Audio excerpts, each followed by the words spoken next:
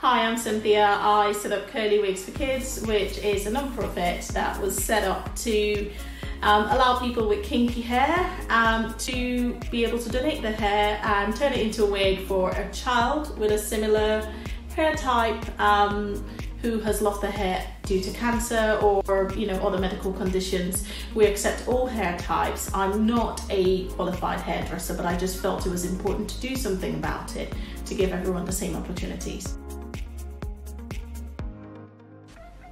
How does it feel to be a finalist? Um, it's fantastic. Um, I, I uh, like most entrepreneurs, I have an idea in my head and I work really, really hard. And um, at the moment, we're all working from home, so you feel isolated from the rest of the world. So being, um, being, you know, uh, a finalist, being made a finalist, it's a, it's a huge encouragement and pat on the back and told, you know, all the sacrifices you're making is worth it and um, you know it's, it's, a, it's a huge morale boost. So in terms of plans for the future, I run three businesses and a charity, Pretty Gorgeous Cakes, uh, which is the big wedding cake business. That's on pause until next year. Um, all the weddings have been postponed and all the orders we're getting at the moment are for next year. Pretty Gorgeous Jams, we're seeking distributors in the UK, US and Canada.